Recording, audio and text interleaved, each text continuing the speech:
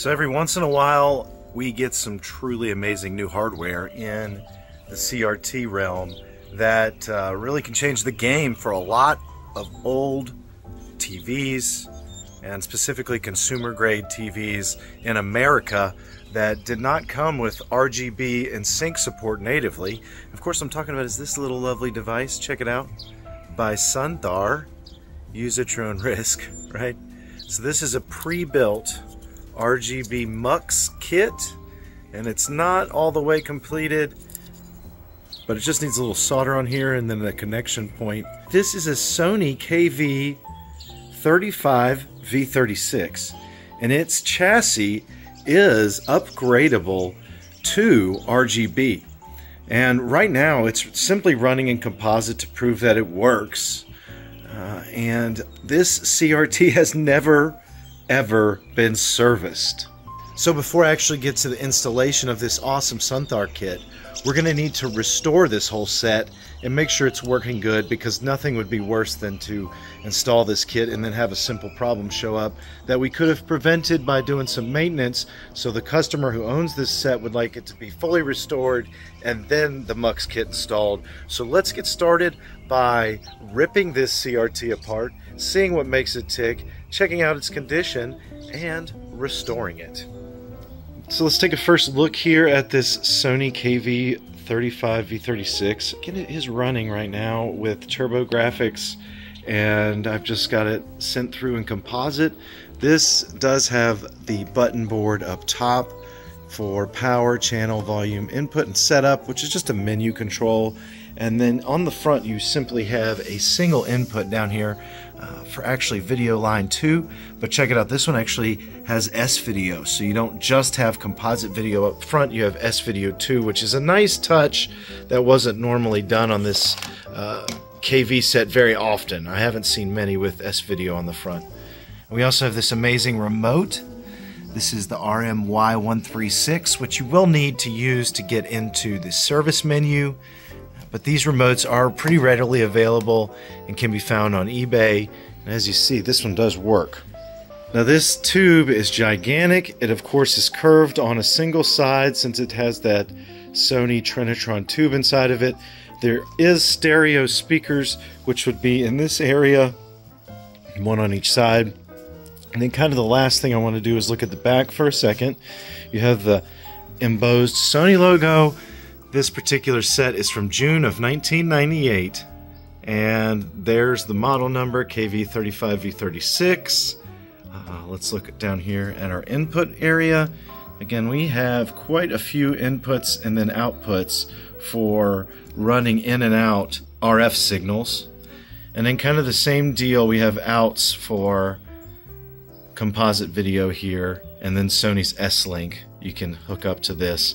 But all we have on the back is a input for composite and then another dual input here with S video available or composite video and that's the one I've been using for the demonstration. Definitely has some dust so I'm excited to see how much mess there is inside of this amazing large set. This thing had a ton of lag screws and other screws holding it in place. Let's remove this back piece of plastic and expose the inside of this thing probably since 1998. I doubt it's been opened since then. Let's see what kind of glorious things we have here waiting to be unearthed. Ooh, yeah. oh, yeah. Look at that. First off inside. Oh, big boy right there. Lots of dust. Right in there. Definitely need, needs a cleaning. All right, let's check this out. Look at this. Wow. So first off, these are the sound system speakers. Look at that. It's like a swirling effect. Gosh, the speakers are aimed this way. And then somehow the sound is actually, what, diverted a little bit through this front? Or maybe just comes out the side mostly? This is a weird sound system.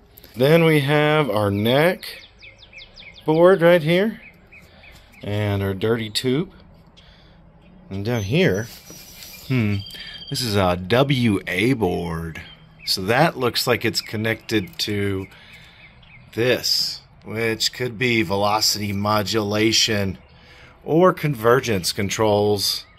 Uh, either way, that's interesting. That's not something you normally would see on every set that Sony made. There's our basic input board, which will be bundled down there. Oh, of course, see, like these big CRTs always have stuff like this, like a wedge that was undoubtedly like, yeah, like right here, most likely, has fallen off. And down in there, not a big deal, but definitely it's time for this set to be taken care of. The chassis down here is done pretty well. You know, we got our main board here, our input board, which we can pull this out and actually isolate our main board. And our power supplies over here, so we don't even have to worry about them being in the same board. It's actually a nice design for a consumer set. And if we look down here at the yoke, look, we have an extra degaussing coil around it. And then same thing, look at this, we got this strapped big degaussing coil set up here that's hooked up to the back of the tube. Tube number, let's see, A89LJT81X is our Sony Trinitron tube right there. Now before I actually do discharge the set, I'm going to go ahead and service this neck board and this little WA board. Uh, we're going to recap it, check it out, and uh, reflow some solder on there too. That way I can service these two boards and then I can put them back in, do a quick test to make sure everything's okay. One of the things I've been really enjoying about checking out this particular CRT for the first time has been kind of the attention to detail for documentation Sony had at this time in the late 90s. Check it out, like the speakers here were tagged June 1998, but even better than like that, I have an actual label over here I didn't notice earlier on the tube itself from June 8th, 1998, which is extremely cool. I've never seen that narrowed down to an exact date. So, um, realistically, you probably could have used this information from this serial number, this production date, and this is probably like the tube type, and found this exact tube and like the information about when it was produced uh, in Sony's data archives if they've kept up with that end of it. But that's really cool and just a um, not something that I noticed Sony do on all their sets. I apologize for the background noise. I'm outside and it's a lovely day and people are doing their yard work. But I was able to fully restore this board, this neck board. You can tell it's been cleaned, recapped, solder reflowed, and very same thing with this WA board down here. I was able to remove it, completely rebuild it. Same thing as the power, or I'm sorry, the neck board and the power supply down here. All three of those boards have been done. And then once I have this tested, and hopefully everything will go okay, I'm set up over here to run a test. Uh, we'll send the signal in. Hopefully the screen will turn on. And if it does, we'll let it run for a second, and then we'll power it back down and remove the main board and get to work on the more important board, the deflection board in there. Let's see what happens when I press power on the remote for the first time. Everything sounds normal on here. Gotta keep an eye and make sure I didn't screw anything up. Okay, good. Just popped on the image there. I was worried for a second. Alright, let's uh, press go here on a game. Who cares what it is as long as it runs. And at the same time, we'll let the chassis get warmed up there. Oh, it looks good. Okay, we got all the colors. Nothing's looking bad. And back here, everything looks okay. Give it the old smoke test. Make sure nothing was smoking. Don't see any smoke. Alright, I think we're safe. We're just going to let it run here and monitor things. But yeah, it's looking good. That's how it's supposed to look.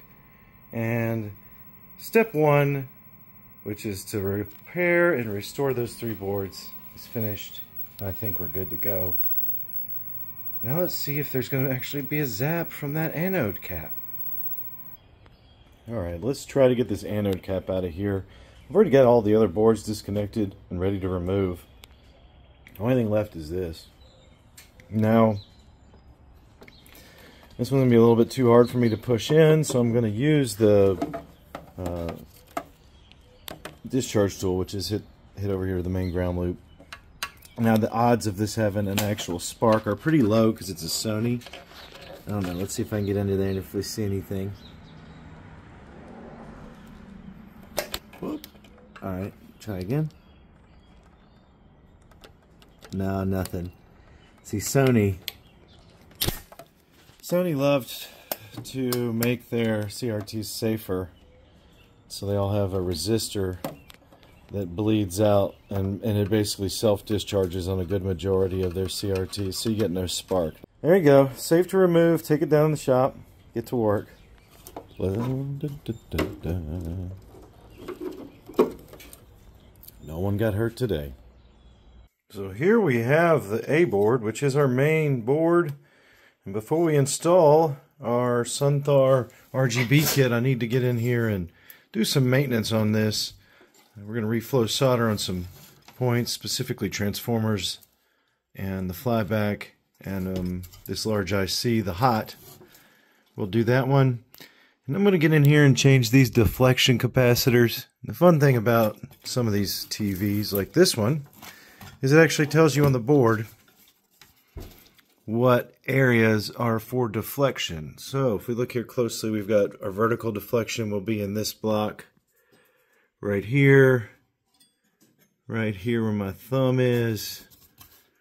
This is pin, cushion, stuff from here where my thumb is up. This is an audio amp. We don't need to worry about that. And volume control, we don't need to worry about that. Or the tuner, uh, the horizontal deflection. So we're going to do horizontal, vertical, pin amp on this board and it looks like that will be about 30 plus or minus a few caps. So I'm going to remove all these, create the cap kit, and I'll show you what the board looks like when all these caps have magically been removed. Well, here we have a cleaned out board. There's that horizontal deflection area. All the caps have been removed. Same thing with the vertical deflection area right next to that. And don't forget to check in between these parts back here because there was one vertical deflect or horizontal deflection capacitor down in there and those tend to be hidden. So make sure you check. Now over in this area, again these, every single one of these is audio and even where you see them tied together that just means this is sharing a ground for these last two like filter capacitors on audio amp. Since we're not worried about audio, we're going straight to the pin amp, which is another deflection characteristic and control. And the good thing about this area is this is also connected to the area where all the voltage comes into this board from the main board or main power supply. So that's some of the first stuff it's hitting. So we're replacing the capacitors that are coming right off that power, which is vital. Everything else should be fine in here to not really worry about. I'm going to go ahead now and install the new capacitors. And uh, here's this full kit. As you can see, we've got horizontal, vertical deflection, and then pin. So I'm going to install these. And then we'll start looking at this RGB kit. Have everything done as far as recapping. And I did mark the caps I changed. And I completely QC'd this by double checking everything. And when I look under here, I have completely cleaned this board up. And basically I've gotten it ready for us to install the RGB mod. And I do reflow solder on some points here too, like the flyback transformer, any of these other transformers, inductors, large, there's the horizontal out, for example. I reflow that. The large connectors, large resistors, here's another transformer.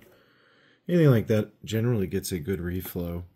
But what I need to do is prep the board and install the RGB mod, believe it or not. And that's going to come into this area of the board around one of these chips. I'm not exactly sure which, so thankfully I have this amazing guide. Uh, first off, here's the kit that I have from Sunthar, and it's sector.sunthar.com. There'll be a link to that in the description of this video. But this was sent pre-made for this particular CRT, so all the resistors are already installed. And we do have a diode that's installed. And um, that means we've also got like every color has a resistor coming into it, or coming where it goes through, and then it's got a 75 ohms to ground resistor installed in this nice board. And so I need to finish soldering up this board and then I'm going to run conductors over here to spots. And I also need to run um, I also need to remove three surface mounted resistors. Now let's look up here. This is the actual website that Sunthar has and the guide for the AA 2D chassis. That is the CRT we're working on. It has this chassis so we can RGB mod this I'm going to skip through some of this stuff. This is the diagram of the mux we're using, or the setup where this is our SCART connector. These are the resistors I was telling you about. There's that one diode. All we need to do is run the conductors and remove these three resistors for the most part from what I can tell. So that's given us this diagram here from the service manual. Shows us which three resistors to remove. There they are, right there. And then it looks like we need to add a diode to blanking, so we may need to do this next. Okay. Then we'll install RGB conductors. So we just need to finish that up, and it's literally those three conductors. Wait, there's got to be a spot for audio. Oh, there's blanking. So we have to connect the blanking down here. We have to connect blanking to this point and then we do red, green, and, green, and blue there. And that's really all the conductors we should have to run. And then we have to add this diode here. Looks like. So let's figure that out. All right, I found R1123 and the rest of them. You have to get in here in between these two chips and check it out. It's in this cluster. But this is red, R1123. And then we have to go to this one where my fingernail is. That is the green resistor and then we go up past the empty spot up past the, and then this one is the blue resistor right there. And right there one one one three three looks like or one three one. I can't tell the exact number on the board but that's the one we need to remove. So I'll just heat up my iron and remove these and then I'll show you what it looks like afterwards. And uh, this is our spot for blanking down here so that's where we'll install that. And since these are going to be the conductors afterwards, I will go ahead and add fresh solder to those points. If you look at the top side, this is the diode over here. Um, R706, we took out that end, inserted that diode with the black end of the diode going down towards that hole. According to those instructions, so there it is, R067. That should take care of the blanking signals. Now all that's left is I need to go in and run all the conductors to the red, green, and blue over here. Blanking. What else? We need ground, audio, left and right, and then sync. Well, I've installed the modification kit according to the directions and I'm going to walk you through what I did a little bit show you things. First off this is the finished Mux kit that is specific to this chassis from Sunthar. And then what I had to do is I had to run the conductors that come out of that and connect them to the board here. Now you saw me do the modification a little bit ago but what I've got connected here is I'm going to show you. I'm going to zoom in. And first over here the orange uh, the orange is an additional ground, so that's just a ground point. Here we have blue, green, and red all connected. This brown is our blanking cable. Then that's going to follow around and go over to the head. Then I've split the others off. This is a common ground, so I've actually connected it just up here. I mean, theoretically, these grounds should be able to go to anywhere as long as they're good ground points. And then over here, I've got sync coming to this composite, and then this is all on like input three. So sync to the composite spot right there. There's uh, right or left audio, the white cable, Gray is right audio, and then that's the audio ground is that purple. Those were factory. Anything else was in there was done with the factory. And then those all come together over here to the mux. So, I don't know. Is it going to work? We're going to take it upstairs and reinstall it in the tube and see what happens. Well, I'm back here in the testing area. Of course, somebody's cutting their grass right now. And no, no, don't get too excited. I've not tried RGB yet. Honestly, what I have running here is just, I've installed everything back and I was doing a quick check on the composite input here or just input number one. Now, hopefully we can engage RGB in a second and it'll switch over, but I just wanted to show you that it's definitely working normally after all the work we did. It's just, I wanted to test that now Let's see what happens when I put SCART into this thing. Alright, let's see what happens here. It's on RF just to prove it's working. Should be working on video 2 is the front. Uh, I think it's video 3. Now I'm going to turn it on. SCART hooked up. And let's see. Uh, no, not working. Of course, right? This is, uh, there's something wrong here. I don't know what it is. I followed that guide, but, uh, I'll try to take a look at things, see if I've got something pinched or pushed over, but yeah, we ain't getting it so far.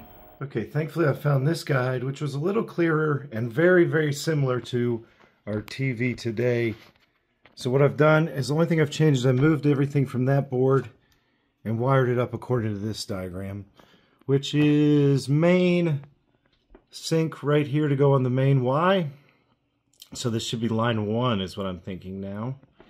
Uh, we have another ground. No, that's the same one from earlier. This is where the ground is for audio. And uh, down in there, I've got left and right audio on that connection board. So let's put all this back together because everything else looks good. And uh, hopefully we'll get some RGB into this. Okay, it's hard to see, but we are on RF right now. Let's switch over. Video one, main input, I believe.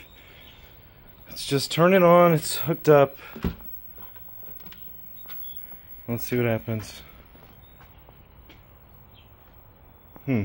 Awesome. This is a uh, sync issue, I think. And uh, yeah, you see how it's just like doing weird stuff. Wow, not working. Well, hey everybody, I had to take a night off and relax and actually look at things from a better perspective, which helped me figure out what the heck I was doing wrong. Uh, I had this little guy assembled wrong, and some of you may have seen this earlier and were just laughing at me the whole time, saying, I can't wait to see Steve's face when he figures this out. You see this receptacle? I had it soldered on this side the top side with the resistors and by doing that it reverse wired everything. So put it on this side. And I tell you what that was the only problem. Everything else was done right. And uh, so let's let me show you what happens when you actually get this screen right you get this installed right and let's see if RGB finally works. Alright everything's plugged up. Super Famicom Look at this, straight RGB through SCART to the adapter head, fed into the chassis there. And I don't have any other tricks going on. You can see nothing in the input board back there. And check it out, folks. It's magnificent, glorious RGB here. Your favorite screen. Well, my favorite screen. the Super Metroid starting screen. Shows you so much good stuff. Check out the fat, fat, fat scan lines. This looks glorious. And it was definitely well worth all that frustration. So the next thing I need to do is mount the SCART input. And I'm going to mount this into the shell over here down in this spot right beside here. I already cut it out. with a Dremel and then some files and then I hand drilled those holes with some drill bits. Let me show you the other side. Hopefully this will work out good. This is one of the more frustrating things to do, or I mean difficult things to figure exactly is where to mount the SCART head. And yeah, it doesn't look very pretty. So let's hopefully, let's hopefully get this together and see how that fits in there. All right, we have liftoff, friends. This CRT is now RGB modded, which you are seeing now. And you can see my reflection. I'm going to get some footage later on when it gets darker. But I'm just blown away with how this looks. Look at that. Let's watch this amazing entrance here for a second. And I've got the back reinstalled. And if I look down here, I'm going to show you. There's our SCART input. Wow. Again, that's coming straight from Super Famicom. And that straight in to the tube. No switches needed with the Mux mod. This is so amazing. Alright, so check it out. I'm just going with my awesome uh, Mel Gibson style Lethal Weapon 3 haircut and uh, we'll round things up on this RGB mod. So again, this RGB Mux kit is not like the other RGB mods I've done in the past where you have to put in a mechanical switch. This requires no switch. You just put the signal right in there with the SCART cable and once you turn it on, the picture actually shows up on every input. It shows up on even RF. But then when you turn it off uh, or unplug the SCART cable, you get the normal functionality of the CRT. So that's really cool. You do get dual functionality where you're not losing anything technically. So that's all good. I really enjoyed doing this mod and getting it done. Um, um, one thing, I'm sorry that it's like springtime here in America and everybody around me is cutting their grass all the time during the day. So there's a lot of background noise probably in this video. And so I hope you're able to get past that and enjoy the modification that we did pull off. And um, I will tell you that this CRT is so awesome. It's just, it blows me away the level of quality I was able to get from the adjusted picture at the end of this thing. And it's going to be impossible for me to really film that, unfortunately. Uh, but what I am going to do is I'm going to do something even cooler. I've decided to take this CRT with me to the Retro World Expo this year in 2024. So that's the Retro World Expo in Connecticut and I will have a presentation and a booth. I will have a presentation and a booth at the Retro World Expo. And at that expo, I will bring the CRT. I'll have RGB in it. You can come see it for yourself, see how awesome it is. I'm not sure it will stay there the whole time because the client who owns the thing is actually going to be taking it from there. But it'll at least be there one day. And then I will also be at a booth with Retro RGB, and Bob and I will be working to RGB modify another set that he actually has live in the booth. So if you want to learn more about RGB mods and just see them happening real life in person, there's not going to be a better opportunity than this probably in 2024. And uh, it's really not going to cost you anything extra if you're going to this uh, convention already. You can come by and watch this happen. This kit can be used with many different CRTs, so I would recommend that you check out the link to Sunthar's stuff in the description for the video here and that way you can get more information as you need it. And again, please come and see us at the booth in the Retro World Expo. Um, I'll also have a presentation there, so that'll be pretty unique, and you'll get to see that awesome CRT in person. All right, so there are a couple of things I want to do. First off, I want to say a huge thank you to Scott, Patreon member Scott. He uh, is the one who owns this CRT and pretty much sponsored this whole video. Uh, special thank you to him. And also, I want to let you know that I'm going to include a slideshow uh, with this video here at the end following this message that has pictures of this entire restoration from the restoration documentation that I include with really any restoration. So this will be beneficial to you if you need more details or have questions about the mod further and want to take a look at some high resolution photos. You can watch that, pause it when you need, And uh, so that's going to be going here for the next little bit. And on that note, we will finish this video out finally. Thanks again for watching. See you guys next time.